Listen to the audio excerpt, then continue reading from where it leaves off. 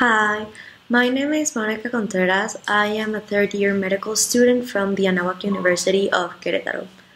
I chose a career in healthcare because I actually love helping people and I have always been interested in how the human body works and have always been amazed of how a perfect machine it is.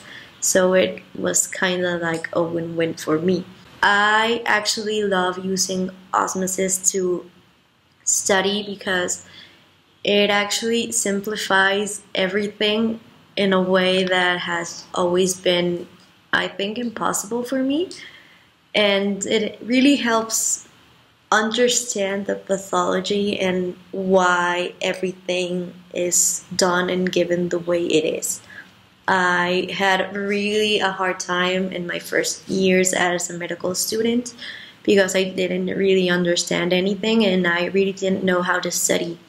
And when I discovered osmosis, it really opened my eyes to how easy it actually is to understand a concept and not actually be overwhelmed by how much information you have to learn.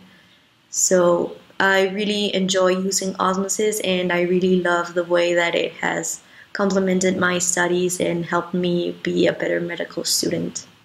Start your free trial today at osmosis.org.